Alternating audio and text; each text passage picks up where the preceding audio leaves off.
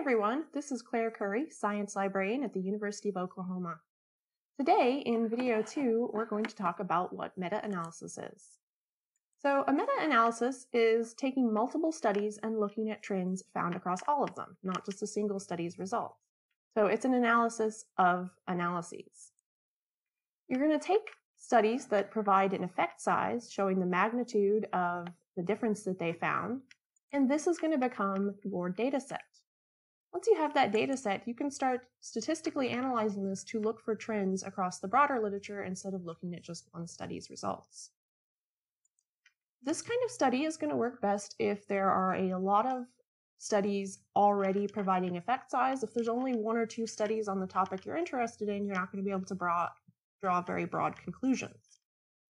If you'd like to look at some online resources to get you started, um, if you go to this link here, this will take you to a lot of our ebooks on meta-analysis.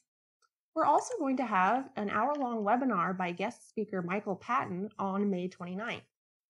Dr. Patten is a presidential professor at the Oklahoma Biological Survey, and he's taught a graduate level class on meta-analyses, as well as regularly teaching multivariate statistics.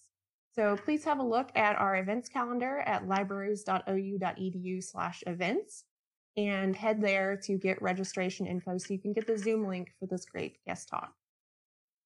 Registration for the webinar, as well as announcements as each new video is posted, are available on our Twitter, as well as on the Data Analytics, Visualization, and Informatics Syndicate website, libraries.ou.edu slash Davis, where you can subscribe to our listserv. Thanks again for joining us, and stay safe out there.